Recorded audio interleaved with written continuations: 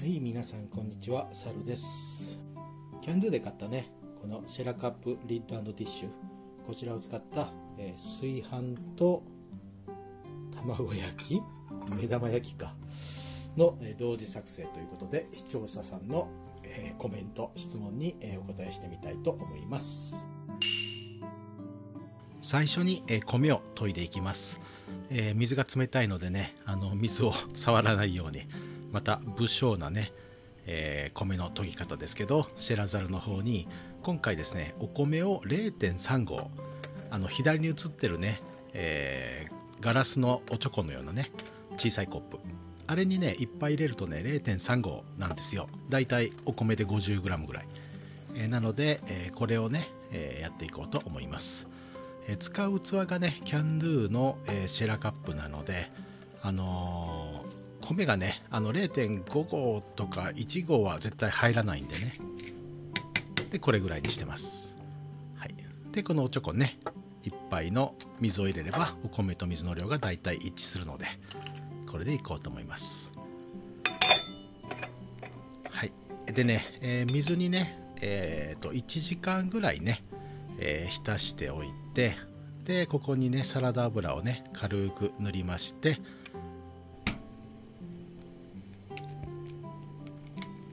卵を割り入れます。アルコールね 20cc ですね。武田アルスト。はいいきます。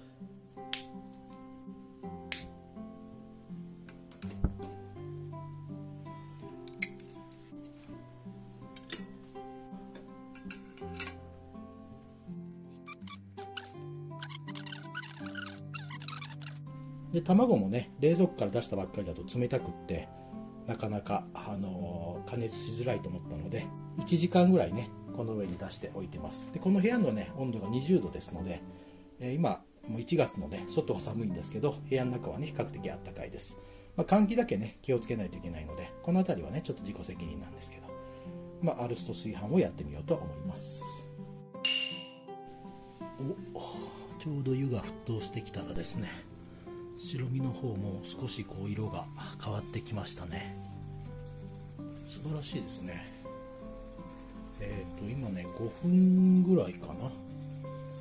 まあアルストね強火にしてるんで先ほどね中火だったんですけど強火にしたんでその分ね熱も上の方にねよく伝ってるんだと思います。目玉焼きに味付け堀西ね。塩軽くしとこうと思います。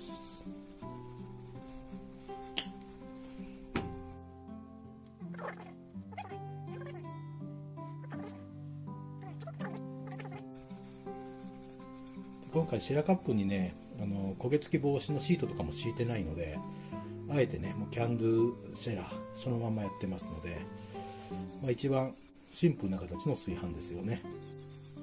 まあ、お米がねこびりついちゃうと思うんですけど、まあ、3分の1合なのでそんなに無理はないかなと思ってるんですけど。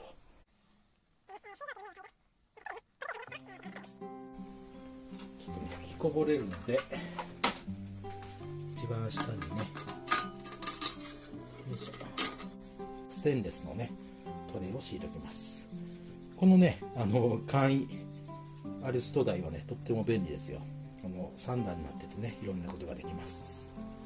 動画もね載せてるのでよかったらね参考にしてください。えー、間もなく10分経過しますね。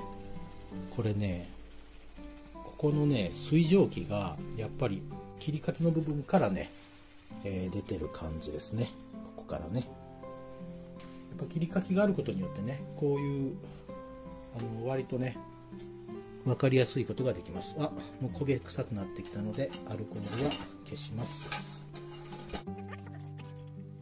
これで蒸らしに入りましょう。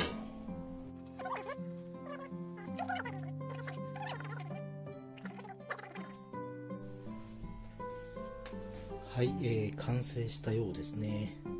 まだねどうだろう5分ぐらいしかね蒸らしてないんですけどね。もうちょっと蒸らした方がいいのかな？わかんないな。ちょっと様子を見てみます。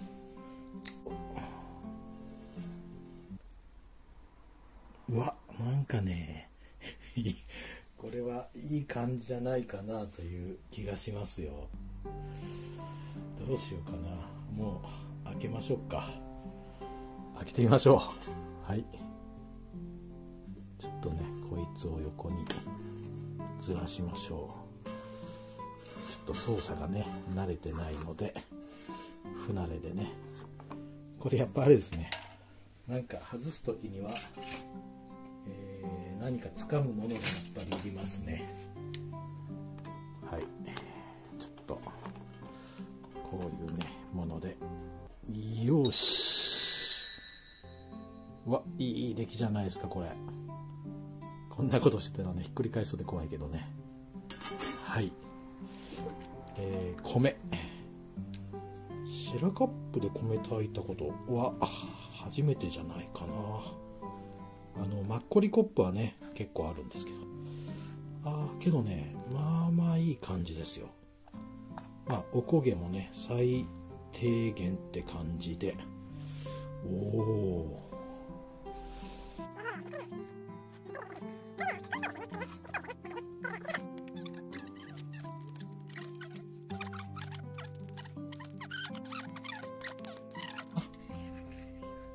おなんかいい感じ。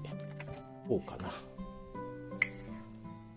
よし。これは素晴らしい。これねちょっとお醤油かけても美味しいかもしれないけどね。はい。えー、じゃあちょっとね。まあご飯からいただきましょう。ご飯ね。ちょっとまずご飯いただきます。うわいい出来じゃないですかこれ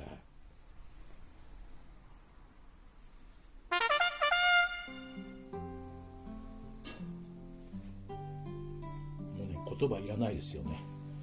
いやまああのねちょっとね期待したコメントじゃないかもしれませんけど堀西がね美味しいんですよ。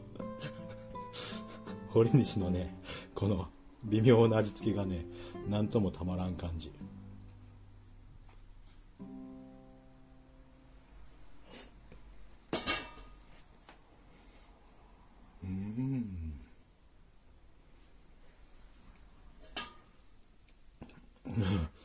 これはこれはねちょっとねやみつきになりそうですね。めっちゃやみつきになりそうですよ。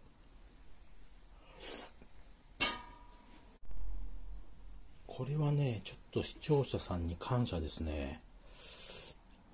うわこれですよ。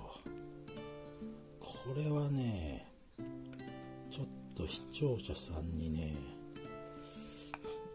感謝ですね。いただきます。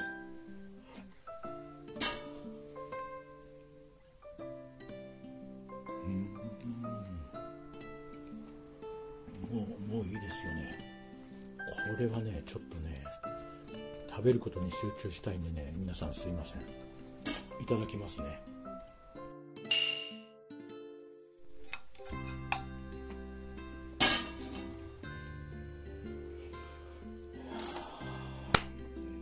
ちそうさまでした。最高でしたね。20cc のアルコールは多かったかな？うん多かったですね。多分 15cc ぐらいでよかったのかな。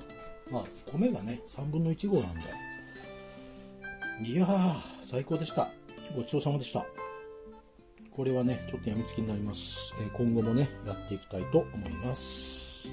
今回、えー、とてもね美味しく炊けたんですけど、まあ、シェラカップでねお米炊いたのが初めてなもんで比較がねできないんですがおそらく、えー、上手に炊けた理由の一つはシェラカップリッドディッシュの要素があると思います。というのもこれまで持ってた、えー、100均のリッドと比べると重たいということとそれからヘリがね溝になっててシェラカップをねしっかりとこうホールドしてるっていうかね覆ってる感じであること。